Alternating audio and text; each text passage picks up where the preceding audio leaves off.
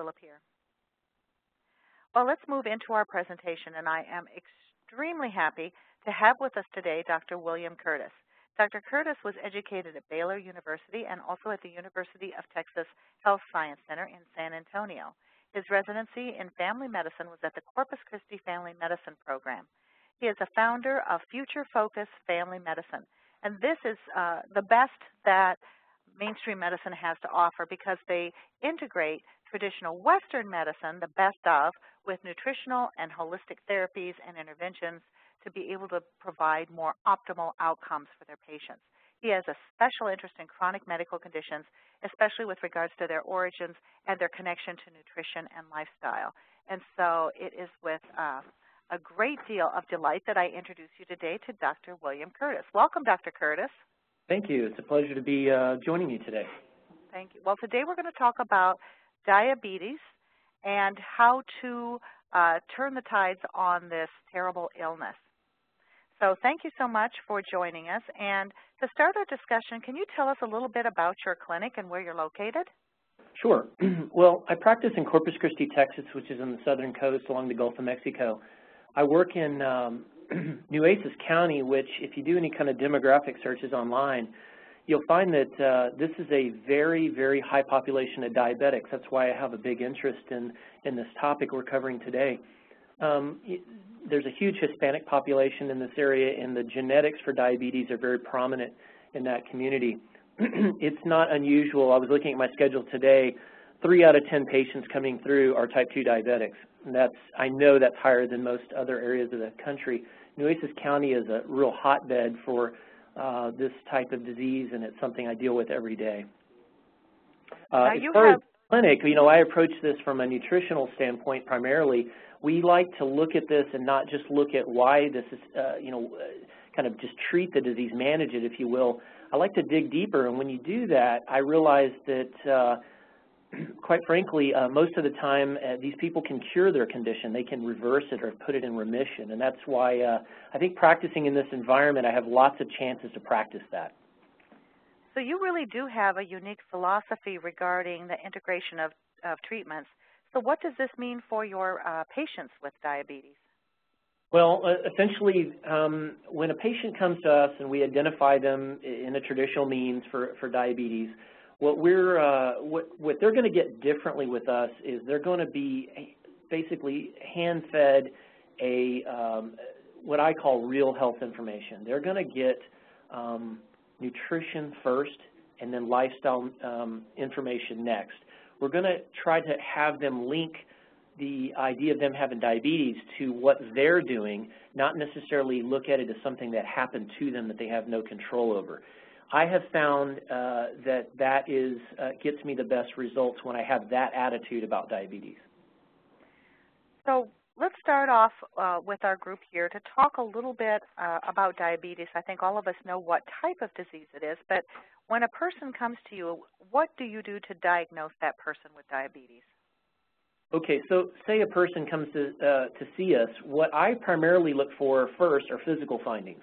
Um, there is, uh, you know, I often tell people I'm a cattle rancher on the side, and you can determine what an animal, a really good rancher can look at an animal and tell what they've eaten. And they can tell based on their shape and size and various things like that, whether they're grain-fed, grass-fed, that type of thing.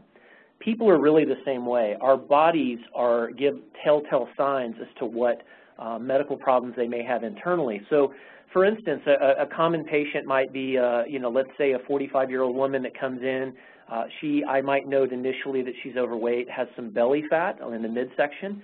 She might have acanthosis nigricans, which is a dark, uh, uh, kind of leathery-looking skin on the back of the neck. Um, and uh, she, typically these patients, when you do basic screening work, will have key features. They'll have elevated blood sugar. They might have high triglycerides, low good cholesterol, high total cholesterol. Um, and of course, often they're overweight, so their BMIs are often elevated. So I first look at physical findings, and then I start uh, uh, proceeding with typical kind of Western medicine type things, if you will, to look for the uh, metabolic symptoms, which is elevated blood sugar, an average blood sugar that's at least greater than 6 to 6.5. That's the hemoglobin A1C. Um, sometimes I will use insulin levels uh, if I feel like a case is vague. Um, I sometimes will look for elevated insulin levels, although, quite frankly, the insulin levels are up anytime you see somebody have some uh, belly fat deposition. So that's what I look for when I look for a diabetic um, and uh, how they might get started with us. Excellent. So a lot of people have been told that they have high blood sugar, but they don't have type 2 diabetes, or that right. they're heading in that direction. Right. Sometimes they use the word pre-diabetes. Right. So what becomes the tipping point when you move from, well, your blood sugars are running a little high to you actually have diabetes? Well, that's a it's a good point, and and I will tell you that uh, I base um, I like to base what I, the recommendations I give on outcomes. There's a lot of research out there that shows that people who are pre-diabetics, um, not they do not have a hemoglobin A1C in the diabetic range. Their blood sugars are not technically in the diabetic range, but they have several of the metabolic features. Maybe they're overweight, maybe their blood sugar is slightly elevated. These people have the same risk factor for heart disease as people who are diabetics. So the point I'm making is that if you have prediabetes, in my mind, it makes no difference. You have this, you might, you have the same risk factors for all the things we're trying to prevent, especially heart disease, which is the big killer with diabetes. You have the same risk factors. So therefore, I'm much, I, I guess you would consider me much more aggressive uh, with the patients instead of saying, oh, phew, you know, you're a, you're a pre-diabetic. Instead, I'm going to approach that and say, look, this is, this is all the symptoms are there. You have elevated insulin. You have belly fat deposition. Your sugars are borderline. You have the same risk factor right now for heart disease as you do if we waited until this became full-blown diabetes. You gotta keep in mind, full-blown diabetes is just a, uh, that's an arbitrary line that, you know, scientists and doctors have put out there. So the reality is we should be, because the statistics show people are much the same likelihood of having a heart attack as known diabetics, we should be much more aggressive with these, quote, pre-diabetics. And so, so I think that is any of those symptoms. So I think what you're saying is that this is not the type of disease where you either have it or you don't. So I think that too many people, perhaps when they're told they're pre-diabetic, feel that they do not have the disease yet, but they're heading in that direction. But what you're saying is that no matter what degree of elevation of blood sugar with some of these other metabolic changes that occur, that that needs to be addressed and needs to be brought back into the normal range because you are still increasing cardiovascular risk. Yes, you must you must answer for why those physical and metabolic changes are occurring. You must you must look back at your activities and your your behaviors and nutritional habits and whatnot. You must look at those. That's exactly right. So we see this explosion in the number of people with diabetes. So do you have any insights as to what's behind this epidemic? Um, yeah, I, I think I think the food industry in uh, the world and certainly in the United States is busted. Um, we have, uh, starting with where the food is grown, um, modern agriculture, as I mentioned, I'm a rancher, I'm a permaculturist. I like to, I, uh, you know, try to grow a lot of my own food and whatnot. And, and the reason is you got pesticides, herbicides, hormones, all these things designed to enhance growth um, in the modern world. Well, these chemicals um, and the um, amount of starches that are being produced and pushed at the population um, are primarily the problem. I know we could get into issues of inactivity and you know the whole internet generation and everything, and there's definitely an, an, uh, an increase in sedentary behavior and uh, a tendency away from active lifestyles. But I believe it primarily stems and starts with nutrition uh, people are, and, and I, I, like to apply the 80-20 principle to everything, and I've done that in several of my blog posts uh, uh, that I've written on health and especially diabetes. There are specific things that make the biggest difference, and I think it's killing uh, a lot of these people and, and, it's causing diabetes. One of them is sodas and high fructose corn syrup. Um, the uh, basically liquid carbohydrate and sugar-based calories are too easy to obtain. They're too common in the diet. They're taken for granted and I have literally seen people lose 15 to 20 pounds in a matter of four to six weeks by um, stopping their two to three Dr. Pepper habit a day um, behavior. It's, it's one focused intervention that can make huge, massive differences. I think that's happening um, nationwide. I mean, I noticed on the slide, you know, Texas is in black, no doubt. I can walk through my grocery store right here in Nueces County, and I can tell you, you if, if I wouldn't get punched in the nose for doing a study, I could look at the baskets and look at the, the, the people, and I can tell you exactly why they're having that issue. And it's coming from processed liquid sugars. People walk through the grocery store with entire baskets full of sodas and fruit juices and all these things that are such starchy, sugar-based stuff. It was never meant to be put in our bodies. Our bodies were never meant to eat that quantity of grains. And uh, therein lies the problem because that's what people are eating across the country. That is a completely shocking statistic that in only 15 years, we've moved from three states that have uh, diabetes in more than 6% of their population to 50 states, and I would hazard a guess, Puerto Rico, uh, with 6% or higher. So that's, oh, yeah, that's just definitely. shocking. 15 years. So, all right, now we know what the problem is. So you have a lot of ideas about uh, how to put diabetes in remission. Right. And I, I love that term, and I, I think it's a brilliant term that you've coined because even if you get the symptoms completely under control, it's something that you also have to always look out for, correct?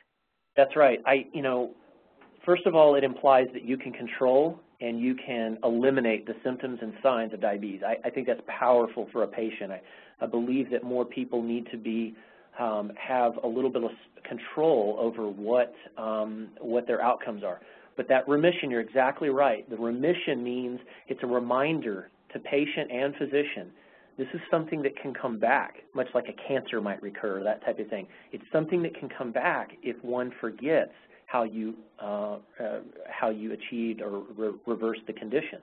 Um, so I, yeah, I like to use that term. It makes people feel, I, I love writing that in the chart. There's really not a diagnostic code I can use for that, but I actually will actually take diabetes off their medical list. I'll put it in my EMR system as a, uh, a resolved complaint, and I will list it as a, in remission. Will I continue to follow them? Yes, I will, but uh, I love that term. So what are so let's define it. So what you're looking at a variety of parameters to say that their diabetes is in remission.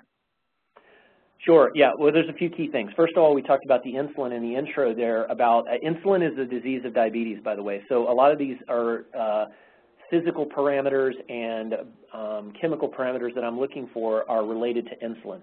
So uh, I'm looking for belly fat deposition or resolution of that. If a person still has a lot of belly fat deposition, they are not in, uh, in remission.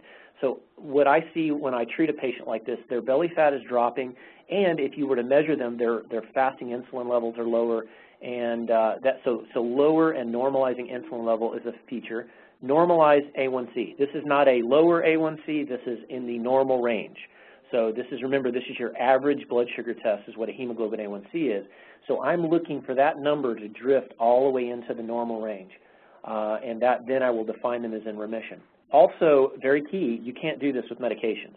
So if you're on a medication and your A1C is now in the normal range, that's awesome, but I would not consider you in diabetic remission. At that point, I would start to work with you on how to get rid of the medication and see if you stay in the normal range with the hemoglobin A1C. Last, uh, the other one is uh, triglycerides and HDL. Uh, triglycerides and HDL cholesterol are both directly uh, impacted by sugar intake in the diet, and therefore they're good indicators for me as to how careful the patient has been with their carbohydrate intake. So a lot of people that will come in and they'll say, well, you know, I did it, I'm, I'm improving a little bit, but my, but I, I still can't quite get my diabetes under complete control. Well, if you look at their triglycerides and their triglycerides are still 250, even if they're cutting carbohydrates, they're not cutting enough. And the reason is um, I know uh, that once people's triglycerides get well under 100 or uh, definitely under 120, they're they're much more likely to be in a ketosis or in a in a lower carbohydrate um, diet for their genetics. So all of these are caused by metabolic improvements. Um, and this is based on lifestyle and nutrition. In other words, the changes that lead to normalizing insulin, hemoglobin A1C, triglycerides, HDL, this is all done through nutrition and lifestyle primarily. Excellent. Excellent. So you're so um, let's take just a brief moment before we look at more integrative treatment, but the conventional treatments that you use for um, to put people into diabetics to try to head towards that good direction with their diabetes. Right. Yeah, well, so conventionally, um, you're, you're going to, I, monitor patients just like every other doctor in, in my community. In other words, I'm going to check blood sugar levels. I'm going to monitor a hemoglobin A1C every three to four months. I'm going to assess cardiovascular risk, risk factors. Now, it's a topic for another day. I don't believe that, uh, I don't believe cholesterol is a disease inherently, but I do believe it gives us, a cholesterol profile gives us a uh, a window into the body. It tells us about the metabolism, just like we talked about with triglycerides. It tells me about nutrition. It tells me about the state of inflammation in their body. Um, so assessing risk factors. Um, I will, uh, if it's, uh, if I feel a patient has uh, either not um, uh, fully committed to trying to do something different lifestyle-wise, or if their sugars are critically high, um, I will go ahead and start on medications. I usually rarely will use insulin. Uh, in fact, usually most of my efforts are spent um, trying to remove insulin from patients. Uh, but I typically I'll follow the same, um, you know, kind of typical treatment patterns that most physicians will. I do, I, you know, the traditional way to treat diabetes is with carb counting, American Diabetic Association DASH diets, these types of things. I do not follow those. I think they're outdated. Um, they are not effective, and uh, many of those um, Many of those types of uh, programs are, are too lenient, in my opinion, with carbohydrate intake, and they downplay the absolute role in the cause of the genetic expression of diabetes by eating carbohydrates. And so uh, these, this whole idea that you just have to eat a grain, uh, no way. So let's talk about your integrative treatment. So sure. how would you describe your approach to treating diabetes? Okay, so the first way I'm going to look at it first is I, I take a very detailed history about nutrition, and I want to know very, very upfront, I want to know are there issues um, with uh, junk processed carbohydrates in the diet. Those would be the first things that as soon as I see somebody walk in and I've identified that they have diabetes, I want to know what their dietary history is. And I go through great pains with this. Sometimes people try to duck that. They don't want to really talk about their nutrition. And I think that's partially because they know that's where a lot of this comes from. But what I will do is I'll, I'll very, uh, ask very much so about alcohol intake, about um, sodas, about sweets, about food cravings that they have, because food cravings tell us a lot about uh, our metabolism and our hormonal status. I will then, um, and I will typically put them on a what I would call a uh, lower carbohydrate uh, primal slash paleo style diet, where I'm asking them to essentially eliminate all grains. Um, I eliminate all processed sugars. Um, I want them, of course, sodas and alcohols gone. Um, and then I will encourage, I, I, will usually start with that and I will tell them, I want you to focus on nutrition first. And some of them will ask, what about exercise? And I'll say, well, exercise is fine and if you feel up to it, great. But I want you to focus your energies on changing some nutritional habits. And I work through them with goals to do so. Um, as you, uh, and I, I, know the slide you put up on nutrition, that's a great uh, kind of 80-20 summary. First things I always tell people, so does alcohol and processed sugar. If you're not eliminating those, you will not get to diabetic remission. You will not, okay? It has to be a consistent effort. Sometimes diabetics will say, what do I take if I, if I, if I just got to have something sweet? I'll tell them fruit might be the sweetest thing you eat, maybe a piece of apple, an orange, or something like that and um, I'll tell them to take that with a little uh, a nut butter, like a like a peanut butter or something like unsweetened peanut butter. This would slow the carbohydrate intake, plus it's a complex carb, so it's the lesser of evils. But if you don't get these top three out of the way, um, you, we won't get there. I also encourage fats. There's so many people running out there um, that are, are doing diets that cause them to count calories. They're they're hungry all the time. They have food cravings. This is driven by unbalanced neurologic behavior, and I believe that's driven by um, inadequate um, fat intake. So I'm going to encourage natural and healthy fats, which include eggs, avocados, uh, fish, um, fat that's from uh, maybe grass-fed meat, things like that. These are these are things that we should have in the diet. I know there's people that get confused by that. You know, should I eat eggs? Should I not eat eggs? Yes, you should eat eggs. This, these types of foods will calm the central nervous system. They will satiate the brain so you're not hungry and having these weird, weird uh, swings of uh, cravings all day. And of course, you got to start avoiding rice, potatoes, grains, cereals, and bread. These are starchy, kind of bulk starches. Um, that is really the key um, to gaining, uh, you know, uh, remission in addition to uh, increasing physical activity. Excellent. And I noticed down here you say one there, in remission. This is the, I know that the rest of these are pretty self-explanatory, but uh, I like this term dietary creep. Does that mean that you're doing well and so you think, oh, well, one soda's not going to hurt, or, oh, yes. well, one Rice Krispie treat's not going to hurt? Exactly. And, and okay, so every year Christmas rolls around and I'll get a horde of diabetics that come through, you know, January, February, oh, no. March. And, and they've they've all had, you know, like it's the holidays and they kind of chuckle about it and well, you know how it is and the pie was there and I just and next thing I know, I went ahead and had, you know, five mixed drinks and a, you know, case of Dr. Pepper and it's like it's this creeping behavior that that um, I, I believe it's cultural and I, I can talk about this later, but it's uh, the uh, dietary creep is that, it, that incremental um, change in diet back to a carbohydrate-laden diet. Keep in mind, there is ample research um, that shows that these a lot of these simple sugars, especially the hardcore stuff that's in diet sodas and, and uh, regular sodas, um, carbohydrate is one of the only addicting food types, okay, and it will cause a behavior that will, will lead to eating more and more of it as time goes on. Uh, so I call that dietary. That's scary. Patients That's really it. frightening. And um, the uh, there's you know even look at uh, the the uh, artificial sweeteners. Aspartame has been shown to be more addicting than crack cocaine in lab animals, um, and has been shown to cause carbohydrate cravings in humans. So a lot of people think, oh well, I'm just going to do diet soda. Well, that's actually causing neurologic effects that will ultimately cause you to have some of this dietary creep or some of these uh, things that you know you shouldn't eat, you'll actually be craving to put them back in your in your diet. So avoiding dietary creep is probably one of the biggest things that if people are vigilant for that, um, that helps keep them in remissions if they've made the right changes to begin with. You know, it's ironic that we see so many overweight people walking around with diet soft drinks. If diet soft drinks helps you lose weight, wouldn't there be a lot more weight loss as much yeah. as they're consumed? Uh, and I've seen diabetics, this is, just, I know there's research on this, um, but I have seen diet patients drinking diet sodas that were diabetics, that their diabetic improve, uh, improved, their diabetes improved after stopping diet sodas. It definitely uh, mimics a sugar uh, in the body. Um, it may not do the same thing, but there are hormonal changes, neurologic uh, signals that are being sent that uh, do not improve diabetes, in fact, exacerbate it. So we've talked a lot about carbs, so I know that you have a lot that you examine and uh, try to balance with regards to lifestyle. Yes.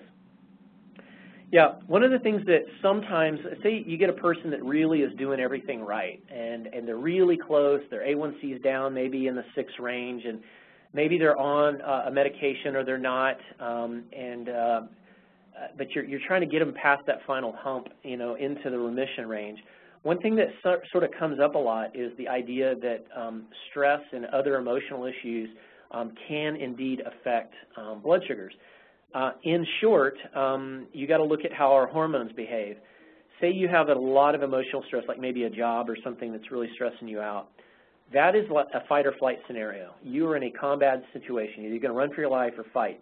It's kind of like a primal response that leads to cortisol elevation. That's our stress hormone cortisol does some peculiar things. When it's released, because you're stressed, it tells the liver to dump sugar into the bloodstream to prepare the muscles to give them enough fuel to fight or fly, uh, flee.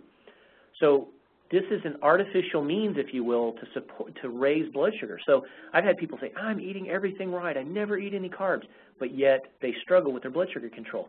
And then as you dig deeper, you realize this person has they have a marital problem or they have some tremendous stressor in their life grief, um, any uh, death in the family, all these types of things that stress people out, you will see it manifest in their blood sugars. And the reason is this cortisol uh, mechanism whereby the liver is dumping sugar. So you can eat perfect, and the liver is out there dumping too much sugar in the bloodstream. Therefore, your insulin levels have to rise and your symptoms maintain themselves. So paying attention to stress and emotional issues and the hormones that are triggered by that is important. The other thing is uh, medications uh, are probably another thing that people overlook. Um, it's a known fact. It's a black box warning. Uh, several of the antidepressant and antipsychotic drugs, um, several of these cause diabetes. I mean, it's it, they cause it. It's a chemical event. It probably, in subtle ways, changes how our neurochemistry works, leads to changes in dietary uh, cravings and, and how uh, these patients eat and their activity level. And then, uh, so, so medications can be an issue. Um, the ones I like uh, that are more important are probably sleep, either lack of or actually sleep disorders. Um, these conditions are basically like sleep stress. Think of it. Think of it as just another. Everything I just said about stress. Think of uh, sleep apnea as stress. Lack of sleep is a stressor. Uh, pain is a stressor. Um, and the last one, is, food allergens, is sort of uh, a little more difficult to understand, but basically when you eat foods that you don't, um, that your body doesn't like, let's say, and, and the most common ones, by the way, are wheat, uh, corn, dairy, and soy. Uh, wheat being probably the highest, dairy being probably the second. When those foods get into the gut, they create inflammation in the lining of the gut wall. That requires cortisol to decrease the inflammation and to repair that tissue. If this goes on for long periods of time, it becomes this silent source of high cortisol levels. It becomes a silent cause for inflammation in the body, which then leads to worsening diabetic control. Food allergens can be a real culprit for people that can't quite get through that final uh, that final push. They're doing everything right, and then they realize, oh wow, I didn't realize I was sensitive to this this uh, this uh, food type. Uh, before we move on to the next branch, when you were talking about medications, uh, wasn't there recent research that the cholesterol-lowering medications put people at greater risk for type 2 diabetes? Yeah, bingo. Yeah, that's exactly right. Um, there's uh, there's some really interesting stuff about statin drugs that people need to wake up and take a take a look at. Um, there is evidence out there in uh, several studies that are showing that statin drugs appear to trigger diabetes. There's also one, I, I, would have to look it up, but I, I posted on this uh, last year sometime on two independent research articles that came out that showed taking statin drugs actually enhances calcifications in arteries. Um, and this was two independent researchers independent of drug companies. Um, and they, they, they came to the same conclusion that, eat, that taking the statin drugs not only didn't reverse plaquing in the arteries or cholesterol deposition, it in fact seemed to enhance it. Uh, this, all this stuff, you, this is the you know stuff that is really frustrating in medicine that these things are taken as the gospel, and the reality is we focus on these medicines and the side effects, but people can change this through their nutrition and their habits that they use every day. So when you have patients come to see you, do you, if it's at all possible, try to get them off of these uh, cholesterol-lowering medications, the antidepressants and the antipsychotics? Yes, absolutely. I'm a minimalist when it comes to meds. Don't get me wrong, I, I have an MD behind my name. I was traditionally trained. Um, I understand what I was taught. I was, I was good at it. I, I, I understand how the body works, and I understand the theories and the toolbox that I was given. Um, but what I have found is if you're honest about how you treat patients, you realize that um, sometimes these medicines that you were taught are the right thing to do um, don't necessarily make any difference. I'll give you a personal story. Just recently, I treated a patient, uh, one of my favorite patients. He's in his mid-70s. Um, he's been on a cholesterol med for in excess of 20 years. And um, he now, uh, we just diagnosed him with blocked arteries in his heart, uh, massively blocked arteries in his neck, and he's now having surgeries and everything for that. He's been at goal. His cholesterols were below the goal range for the last 20 years. Okay, It didn't save him. It didn't make it any different. He developed vascular disease anyway. And that's the point when, uh, as, a, as an honest physician looks at cases like that all the time, and you can either say, well, hmm, I don't know, must be something else. Must, they must not be, they must be cheating on their diet or something. But the reality is the medicines could be causing it. And secondarily, um, the reality is I, I, don't, I don't think they're doing what they were prescribed to do to begin with. So yes, the answer is I do try to, I do try to minimize the usage or totally eliminate them when I can do so. Excellent. So let's talk about your interventions. Sure. So first, let's start with some of the supplements you commonly use.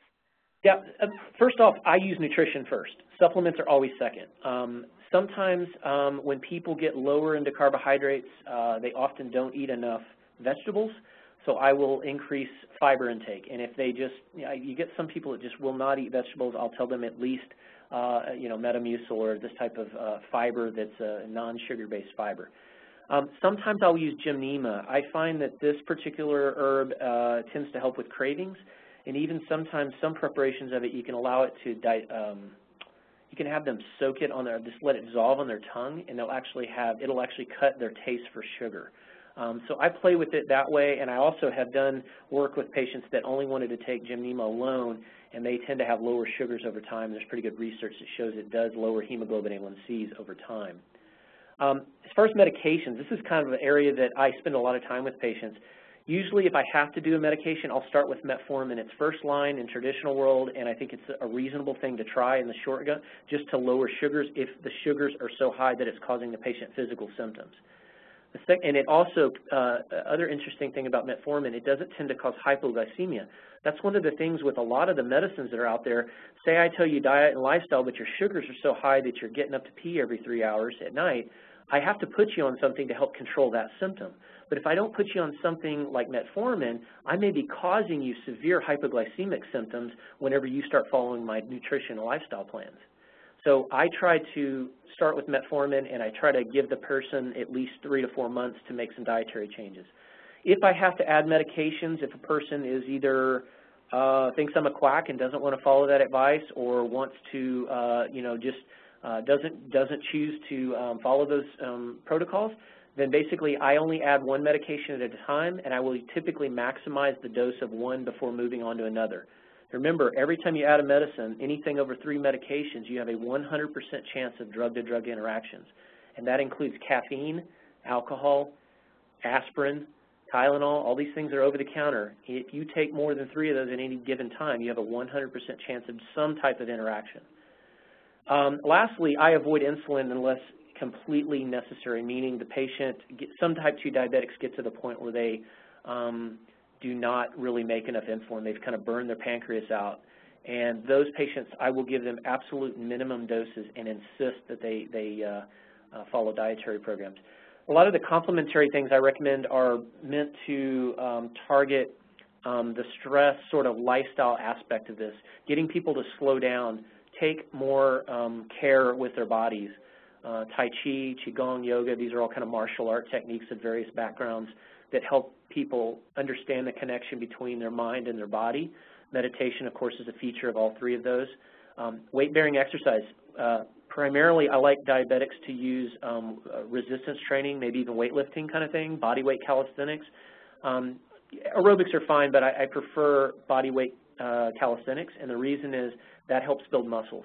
Building muscles, building uh, stronger muscles and more uh, uh, uh larger muscles creates muscular sponges. They become blood sugar sponges. Every time you work out and you lift weights and you feel that burn, you have used up all the glycogen or sugar stores in that muscle. Now it becomes a sponge. Isn't that a great thing uh, in a way you could control and lower your blood sugar? And of course, sleep, uh, and again, part of the idea is getting people to slow down and address the fact that they do need to rest, they do need to get plenty of sleep. So these are some of the just generic uh, complementary things that I typically recommend. Uh, isn't it true that muscle at rest burns more blood sugar than other types of body tissues at rest? Yeah, uh, I do a lot of work with athletes, and uh, that is actually true. In fact, you burn more energy repairing and refueling the muscle than you did during the exercise itself.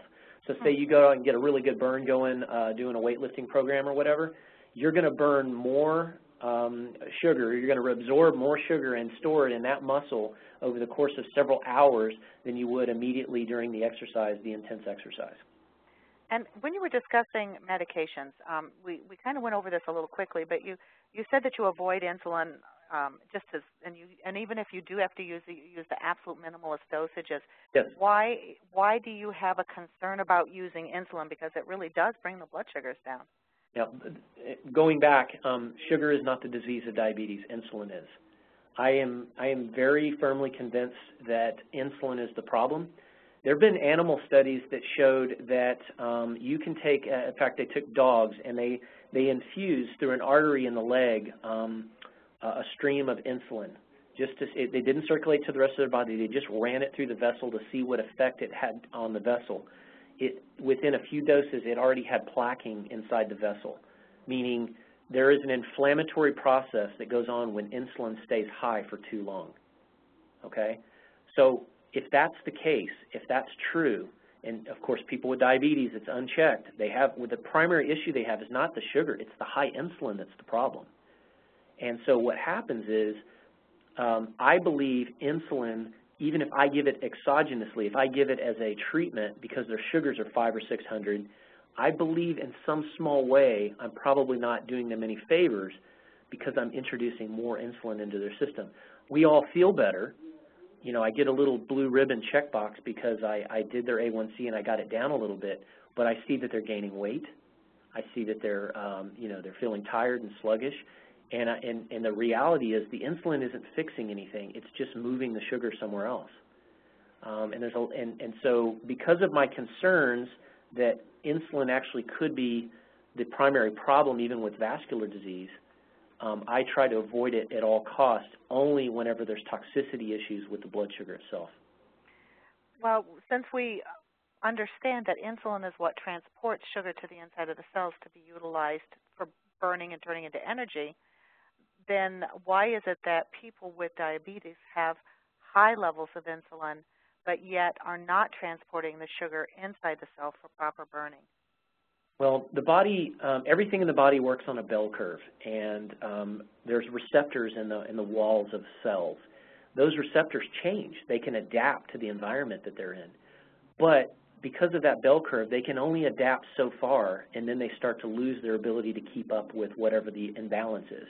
So if your sugar is consistently high in the bloodstream, you make uh, you make insulin to try to put it in. That's a lock and key mechanism that there, there becomes a point where the, the um, you either run out of keys or you run out of doors and you can't get the sugar uh, into the cell anymore. Um, and, uh, and, and so what happens is the sugar tends to drift higher and higher and higher despite um, the fact that your body tried to upregulate the insulin to make it higher so that you could get it into the cells or out of the bloodstream. It's, um, one has to look at how cells, uh, how the uh, membrane of a cell works and how things get in and out of them. They usually get in and out through a, uh, an enzyme mechanism, and um, that can be overwhelmed. And what happens in diabetics is they overwhelm the normal balance and the normal, um, uh, the, the normal compensation mechanisms. So is that the definition of insulin resistance? I believe it is. Excellent, excellent. You also mentioned that um, that you only intervene in the blood sugars, that one of the things that you intervene is if they're having symptoms. And you men mentioned frequent urination. Can you give us a couple of other top symptoms you see when people are starting to have difficulties with high blood sugars? Sure. Um, one of the when when sugars are really high, um, a lot of times people are losing weight and they think, "Oh, awesome, I'm losing weight, but I feel really sick all the time." This is because they're not getting sugar into their cells appropriately. That's that's one of the things. Um, they will also often just be thirsty all the time. Um, they will be craving water or drinking nonstop, and they never can quench their thirst. Um, fatigue is a very common symptom. A lot of people overlook fatigue. Um, and, of course, frequent urination or nocturia where you're having to get up over and over to, to go. Uh, those are the things that um, I see the most um, uh, with patients. It's, it's pretty much a dead giveaway. You'll see a patient come in, haven't seen them in a while, they, you know they have diabetes, they've lost 25 pounds, and you ask them, have you been dieting? And they said, no. And by the way, I'm frequently urinating and I'm thirsty. Then you know that whatever their A1C was before, it's going to be massively worse now because their blood sugar control has gotten way worse. So let's talk about, we've talked a lot about those types of interventions. Let's talk about the dietary intervention. So you have a dietary plan to get mm -hmm. folks in uh, diabetes remission. Right. Well, um, again, it's focused. Um, I generally want people eating real food. Um, I want people to make sure that they uh, are not ever eating sodas. I want them to severely limit or not have alcohol at all, especially if they're diabetics. No fruit juice. Fruit juice is not good for you, okay? Fruit occasionally, but not fruit juice. Um, I like people on a, a, low carbohydrate diet, which means um, I typically want them at least less than 50 grams a day. But again, you, there is plenty of evidence and this is what I actually push my diabetics to do, get out of the concept of feeling like you need to eat a, a bread, a, a, a carb. Get out of that mentality. You don't have to eat them. You can eat vegetables, which is kind of a non-digestible carb for the most part, um, and you can you can keep your carbohydrate intake exceedingly low. The more you do, the less stress you put on the body, the less insulin you require, um, and the more your body is able to get into ketosis, which is that kind of uh, uh, fat burning mode where we're not using sugar as the primary source of metabolism. Um, and so I push those concepts first. I do want my diabetics to monitor their blood sugars. Um, that's something that um, I think is important because uh, I heard it once said that that which gets measured gets managed. Sometimes people blissfully go through their lives. A lot of diabetics don't have symptoms. They just have it. And their arteries are corroding and they're having all the damage to diabetes, but they don't know it because they're not cognizant of it. I believe that by going ahead and um, making people measure their sugars, especially after meals, they say, well, is it okay if I eat fruit? I'll tell them, I don't know. Why don't you go ahead and test your sugar after? And if they're really an unstable diabetic, their sugar will jump through the roof. And then, they, then that scares them. They're like, oh my gosh, I didn't realize it went that high. And so that, again, teaches them. They're learning. They're empowered to control it themselves. The last thing that's very key is I ask these people to observe for little improvements. Um, observe for little changes. Hey, I'm not urinating as frequently. I'm losing a couple of inches. I sleep good. My libido's better. Hey, uh, was I supposed to quit having headaches? I mean, there's all kinds of little things that start to improve. So I ask my patients to, to journal, to, to write down how they feel, to look for improvements, even as small as, as uh, changes in their skin. Uh, I've seen people have changes in their um, acne, you know, these types of things. And also, of course, we want to monitor for uh, change because a lot of times I'm looking to get rid of medications. I'm on the hunt to eliminate a lot of these meds I'm writing for the patient. Uh, a lot. One of the concerns that I've heard from individuals who do follow a low-carb diet, some individuals uh, say that they have terrible problem with bad breath and, and dry mouth. Is this always a consequence of ketosis? And if so, is there anything that you could do from a dietary standpoint to help reduce this? Um, that is not always the case, and I would encourage those individuals. I mean, there's an acetone type smell that can sometimes occur. Um, I would encourage those folks. I find that that's more when people are transitioning to a low-carb diet, um, and I would encourage them to kind of continue with that. But I would also secondarily um, make sure that they take a real hard look at their um, uh, routine blood work and make sure they're otherwise healthy. Uh, make sure they're not having other digestive problems, um, teeth problems, um, or, or, things like that because sometimes that is, they, they take that as it's because of diet and sometimes it's because of other comorbidities that they may have. Uh, I don't see that as a huge issue and so I don't find it something that I'm trying to get patients to cover up. It's, I think that's a transitionary issue. One other thing about it, I believe part of that comes from the detoxification process that occurs when you move to more natural food types, when you get away from processed sugars, uh, heavily diets heavily laden with grain. These are things that uh, are toxic to the body, and the body takes a while to shed some of these, and sometimes it's shed as a vapor in the form of breath. Sometimes it's passed in the urine. Urine smells different. Sometimes the stool changes. Um, so, because uh, you see the same thing whenever you get people on detox programs and things like that. So, I think uh, that's something I would uh, I would I would watch, but if it's severe, I would make sure you get checked up, especially by a dentist or a uh, internist to make sure your uh, GI tract is okay. Um, a lot of people are completely overwhelmed when they get a diagnosis of diabetes, especially if they had no forewarning. Uh, so how do you, do you have any special tips to share about how you coach patients to make lasting changes? Well, first thing is I, I always talk about a thing called goaltending. Um, I believe in the value and the power of very small incremental goals. Sometimes when the doctor comes in and tells you you have diabetes, there's this sort of, sort of overwhelming as soon as you walk out the door, oh, I can't do this, I can't do that, I can't do, you know, it's, it's just like this overwhelming number of things. I actually like people to focus on a few big items like we've already covered. I'll tell them, look, yep, you got diabetes, there's a lot of things you're going to need to learn about this. We're going to monitor you, we're going to check all these things to make sure you don't have progression of disease. But the first thing I want you to do is I want you to walk out of this door, and until I see you back at your three to four week follow-up, I don't want another soda to pass your lips. I don't want you to drink any fruit juice and I don't want you to drink any alcohol. Can you try that as a baby step for the next few weeks and we'll see what kind of progress you make. And then the next time when they come in, I'll say, okay, now let's talk more about grains. Let's talk more about simple sugars in your diet. I'd like you now, since you've had so much success there, I'd like you to go ahead and start watching out for these foods in the diet. Why don't we try to eliminate at least 75% of those, baby step. And then finally they'll come in and because of those things, they feel good. They have more energy, which is why I, I called our, our little uh, nutritional book Energy uh, Diet and Lifestyle Compass. Patients talked about having more energy. And so I'll say, hey, look, let's take another step. Why don't you start exercising then? This is how these baby steps that occur. I don't, I, I'm not one that believes in the radical, you know, um, do everything at once. I, I've, I've worked with people um, that that's their approach. I have uh, I've seen them have great success, but I've also seen a lot of people fall to the wayside because they don't realize um, that it's difficult for people to change every single habit, especially when stress and lifestyle issues can be involved. Loved ones at home, people who they have to eat with them, I mean, it takes a while to convince people to change. I look at it more as I'm trying to treat them for a lifetime. I'm trying to educate them for a lifetime so that they can cure their own condition. A lot of the folks in our audience, um, some of them are practitioners, I noticed, by those who signed up, and some of them are people who themselves have diabetes. Right. And they might have been dealing with high blood sugars or de dealing with this disease for months or years. Have you had patients that have had poor health for a very long time and you're still able to make some changes? Oh yeah, definitely. Um, I've got, uh, I've definitely got um, uh, many folks. Uh, you put them in the elderly category that um, have had uh, diabetic, achieved diabetic remission. Um, some of those folks are retired and they they don't. Uh, they, they, they have the time to make some changes. So I think that whole old dog new trick, I'm not, I'm not 100% sure that that's uh, necessarily true.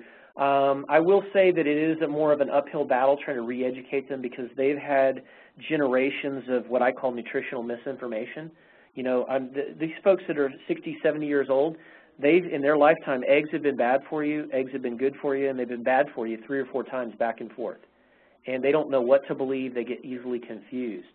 Um, but I, in my opinion, yeah, I've seen people uh, metabolically improve diabetes dramatically and, in fact, uh, even achieve remission. The toughest ones for me are the ones that work and they work excessive hours. In our area of the world, we have a lot of oil field workers, guys that work on the road a lot. These guys are the toughest ones to treat because you tell them, hey, you got to eat better, you got to watch what you eat, you got to be more active, and they're working 17, 18-hour days, um, seven days a week, 365 days a year, and they kind of look at you and think, well, you know, how am I going to do that? And those are the toughest ones for me, and it requires a lot of uh, the patient to do a lot of soul searching to try to figure out, you know, is this something I want to do my whole life? Am I going to, you know, have diabetes and make a lot of money, or am I going to, you know, moderate my time and and improve my diabetic control? So before we move into questions, and we have quite a few that are um, starting in our, our Q&A box, um, okay. give us, a, again, this is your overview for achieving diabetic remission. Sure, yeah. Um, so big tips. Um, I like my patients to become food snobs. I want them to care where their food comes from. I want them to care how much carbohydrate they're taking in. I want them to know that aspartame is bad for you, high fructose corn syrup is bad for you. I want them to know that chemicals like MSG and uh, food dyes and uh, preservatives are all bad for you.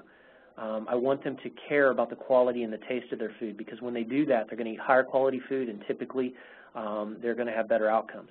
I want them to cut through the propaganda. We've kind of hit on and off over some of the medical medical propaganda, pharmaceutical industries, um, a lot of the things that people have to look at, even varying uh, guidelines, even amongst low-carb people, there's a lot of, uh, you know, are you paleo, are you, are you primal, are you Atkins, you know, all these low-carb, the bottom line is they're all in the right island.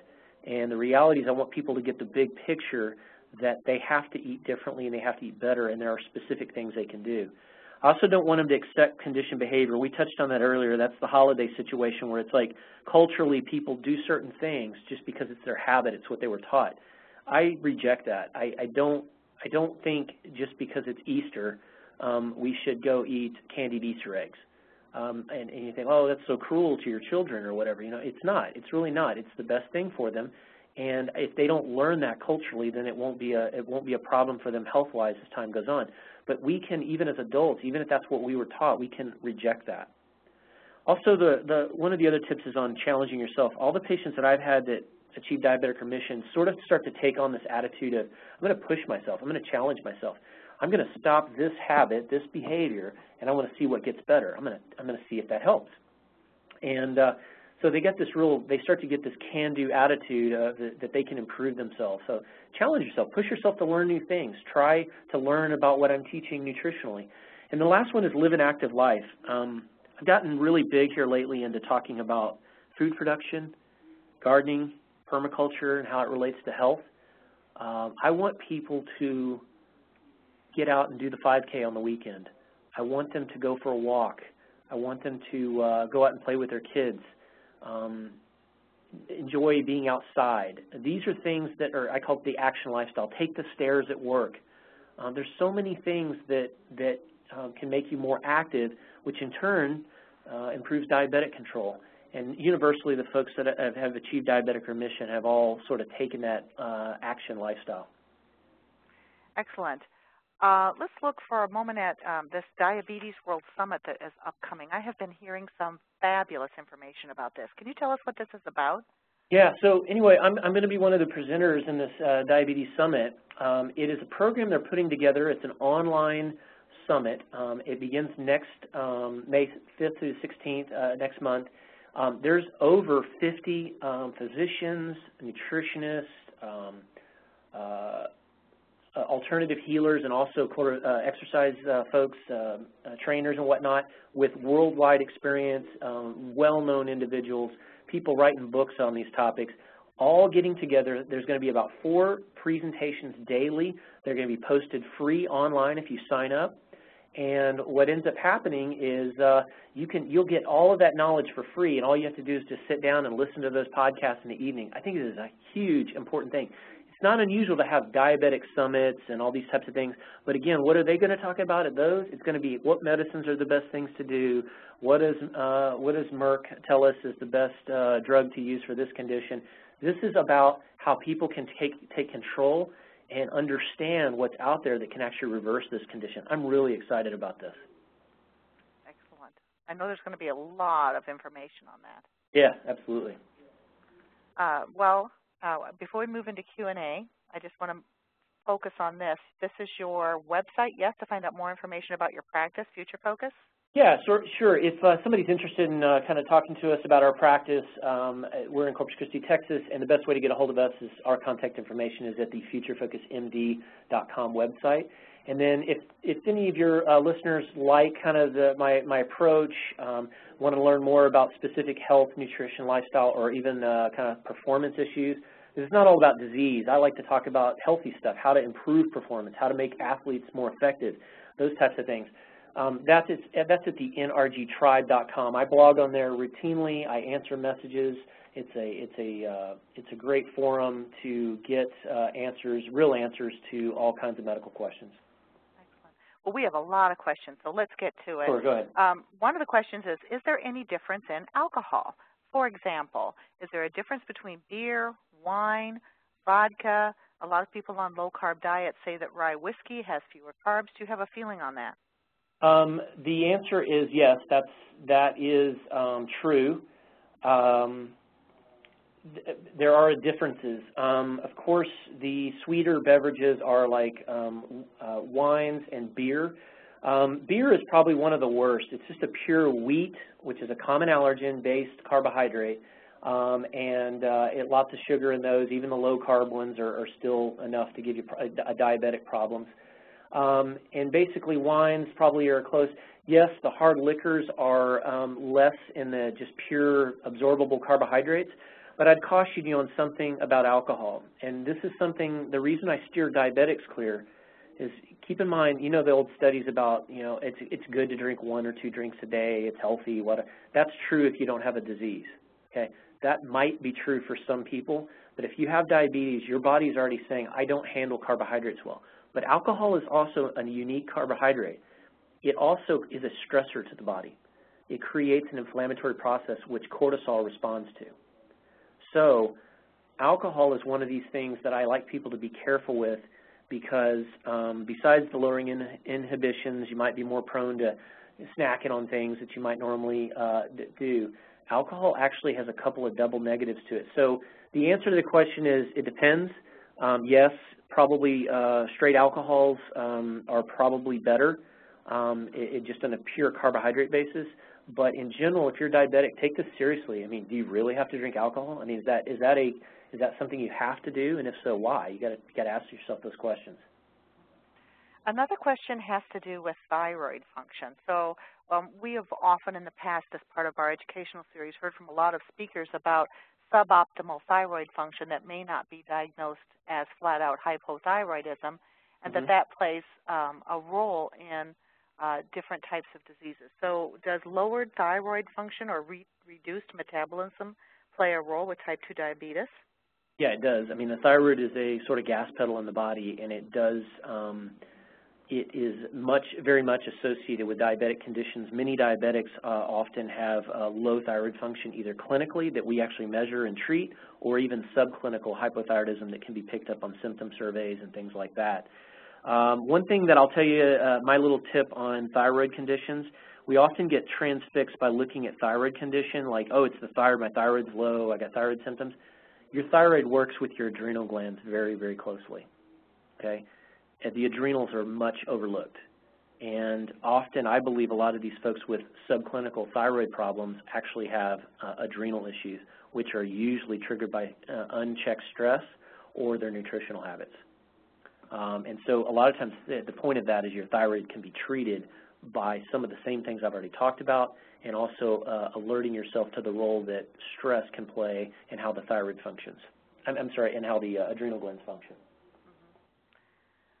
So let's see. One, I'm going to combine a couple questions because I think they're similar topics. Uh, one has to do with trying to convince doctors to uh, be a little bit more open-minded about their approach, and the other says, uh, quotes you as saying, um, so many doctors are reluctant to open the toolbox. So what happened in your own personal life or your own professional practice to change your mind about the approach that you were taught? You know, I always was a kind of independent thinker. Uh, my uh, grandmother used a lot of herbal uh, remedies and things like that, so I, I think deep down I probably had a little bit more of an alternative leaning. Um, but when I went to medical school, I was a good trooper coming out. Um, I get, put everybody on a low-fat, you know, cardiac diet. Um, I did all the things. I chastised the patients for not, you know, eating for eating their fat and eating their eggs and everything else. And then what I realized, I, I, I like to say it's because I'm just honest. I, I, I honestly look at patients and wonder, are the interventions I've told them, are they doing anything? And I universally, every time I was following these types of diets, I never saw improvement. And so it made me realize I'm not really doing anything for these people. And then you start exploring, you start realizing that there's other opinions about lifestyle, about nutrition, which I, I was not taught in medical school. You have to keep in mind it's a toolbox. Uh, going to medical school is a toolbox. And if you, can, if you hire a medical doctor to come do something, you say, I'd like to do this to nutrition and lifestyle, they might, if, if they attended, they might have had a two-hour class that they took that they had to show up three times in six weeks uh, for a couple hours at a time to talk about nutrition. That's it. I mean, that's not. It's not like we had this ginormous amount of, you know, powerful uh, and very in-depth nutritional talks in medical school. That's it. I'll be very honest about that. And I learned everything I know about nutrition outside of there.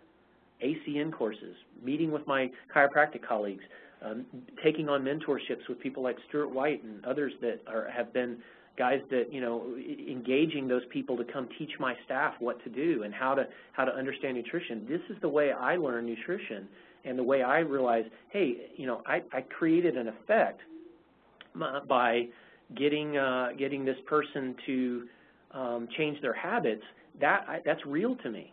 And so that's why I ended up going down that road.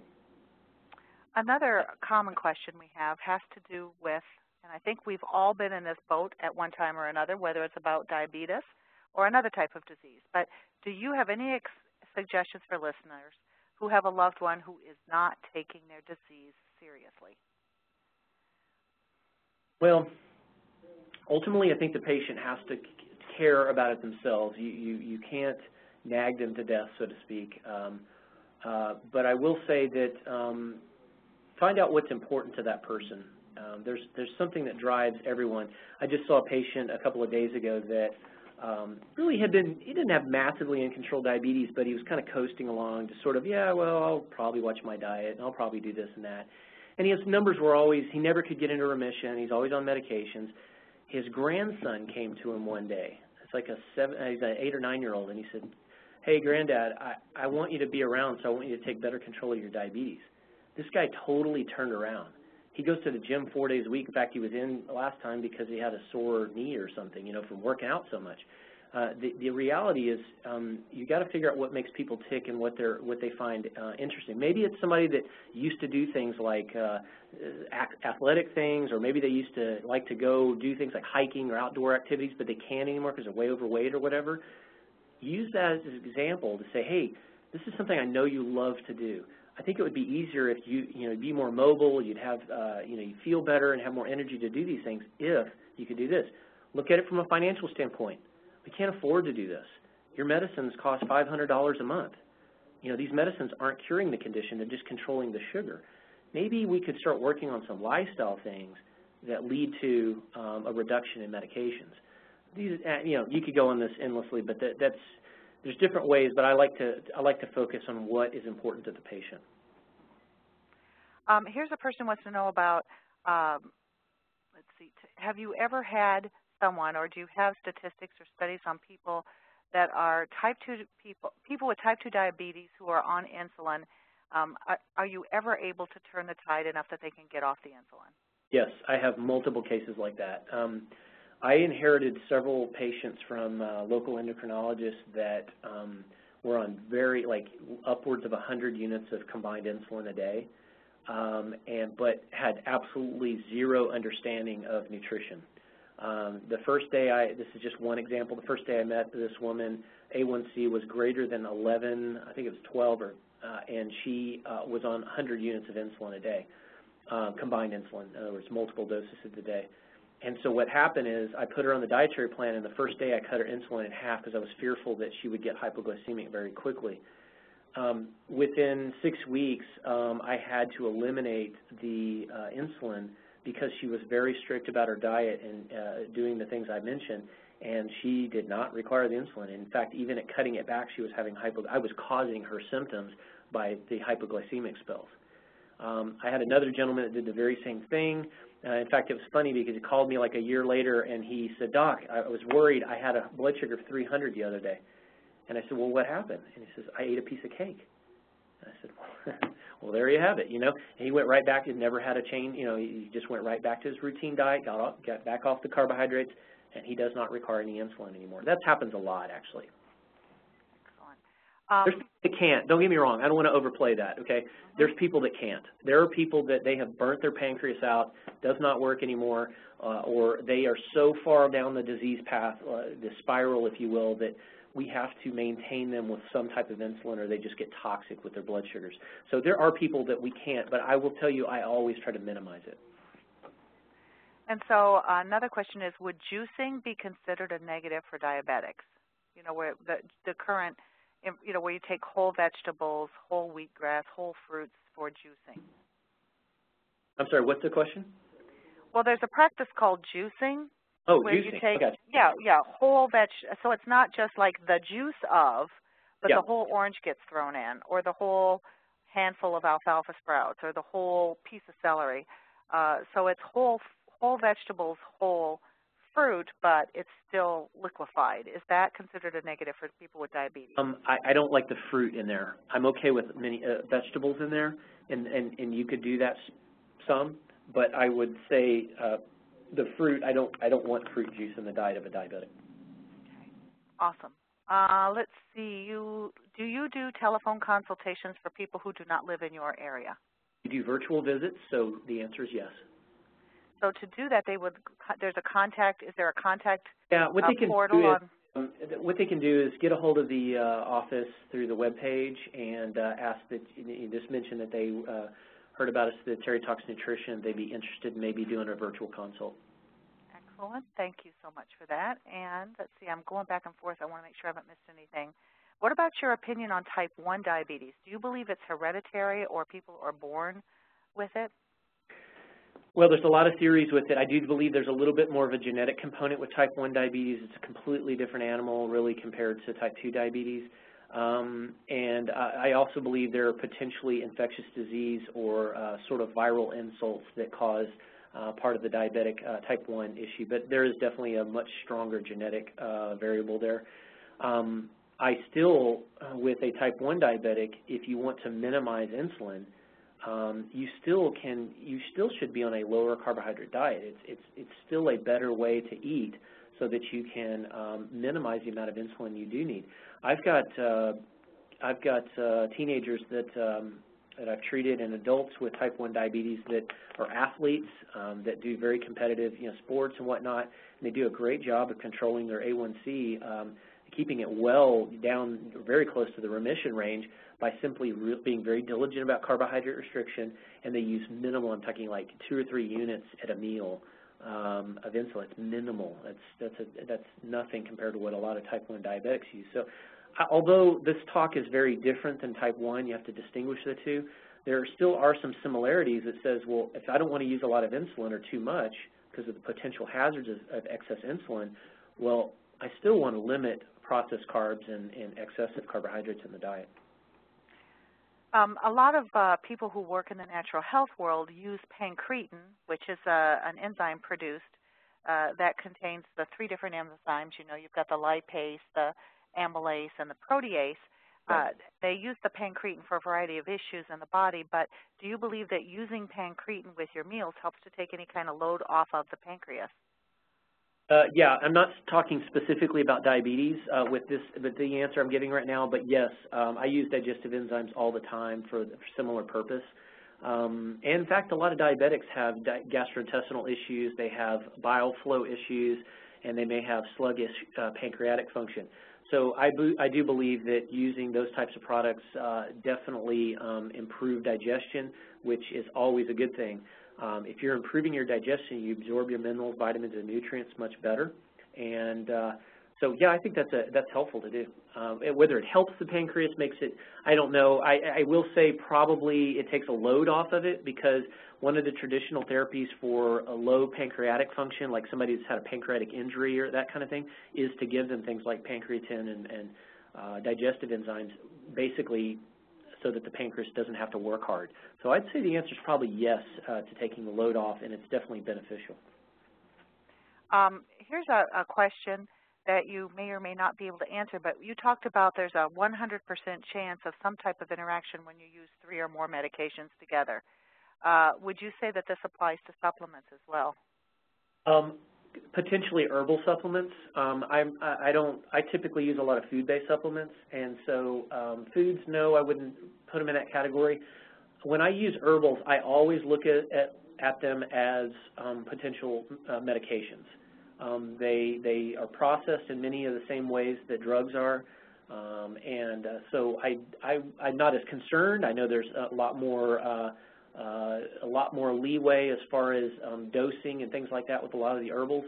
Um, so I would say um, it, it, not food-based supplements, but probably um, you, would probably lump herbals into that category, at least use them more carefully. But that is definitely true for synthetic and man-made uh, uh, drugs. Mm-hmm. And it may also be, and, and correct me if this is something that you don't agree with, but uh, even when you use a single herbal supplement or a single dietary supplement, uh, let's just say you take a, oh gosh, I have to come up with something quickly, a ginkgo product. Um. That ginkgo is not one thing. It's made up of several different compounds. Uh, let's say that you're taking rose hips for vitamin C. That's not just vitamin C. Those are several compounds. When you're dealing with drugs, it's one single compound generally. So ibuprofen is merely ibuprofen, and acetaminophen is merely acetaminophen. But what we see with interactions, when you look in the dietary supplement world, very seldom do you see any type of harm reported to the FDA database on nutrients causing other nutrients to cause some harm, where I don't believe the same is true when you're talking about drugs. Yeah, I, I would agree with that. That's a great analysis. Um, medications are refined, many of them were refined from herbs and plants and whatnot, and they're very targeted and very focused. That's why they can have very dramatic or even toxic effects. Um, and so I would agree with that, uh, the way you characterize that, definitely. Excellent. All right. I think going to glance through the, the, the chat and the QA boxes to make sure I did not miss anything. Um, let's see. All right. I think uh, there was a uh, one question I did miss, and it had to do with do you measure uh, different, um, do you have different measures of inflammation? Do you do checks on systemic inflammation, and if so, what kinds of tests do you do? Yes, um, sometimes I'll do that. Um, not so much just for diabetics. Um, sometimes I'll do CRP levels, cardiac CRP levels uh, on diabetic patients, especially if I'm, it doesn't, it's not that it really changes my management of the case. It's just that sometimes I use those labs as tools, further evidence to, to share with the patient. So if I got a patient that just psychologically is not coping well or doesn't feel like uh, maybe I'm overplaying um, the hand with diabetes, I'll show them, I'll say, well, inflammation is a problem with heart disease. Oh, look, your CRP is elevated. One more reason you need to take this very seriously. So Uh, now, with other medical conditions, yes, uh, those inflammatory markers, CRP, SED rates, those are definitely utilized in those situations uh, for rheumatism and others. Well, I believe we finally made it through our long list of questions. Thank you so much, Dr. Curtis. I learned a great deal about diabetes and diabetes management today. I hope you'll come back in the future for another webinar. Yeah, just call anytime. We had a lot of fun. It was good. Thank you. Thank you. And uh, thank you all for attending today. Uh, before we go, I wanted to announce our next upcoming educational webinars. Uh, psoriasis, eczema, and other common skin diseases, Heal the Skin You're In, on May 19th at 1 p.m. And then we have a special two-hour event uh, with Dr. Jacob Teitelbaum and Dr. Neil Nathan on the diagnosis and treatment of Lyme disease from all perspectives, and that includes the mainstream medical interventions as well as nutrient and dietary supplement and natural medicine interventions. Uh, we are extremely pleased to have this special two-hour event, uh, so I hope that you'll be able to join us for that. So thank you all for taking time out of your busy day to learn more about natural medicine interventions. And until we meet again, good health to you. Bye-bye.